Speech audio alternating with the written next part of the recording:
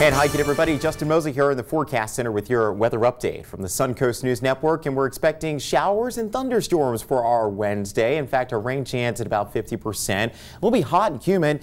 Latter half of the work week, though, Better news, more sunshine with lower rain chances, and in the long term, just kind of seasonal weather, partly sunny skies and a few afternoon storms. It's all laid out here with our seven day forecast. Rain chance Wednesday, 50%, 89 for a high, but drier air aloft moves in for Thursday and Friday. So notice rain chance down to 30% on Friday.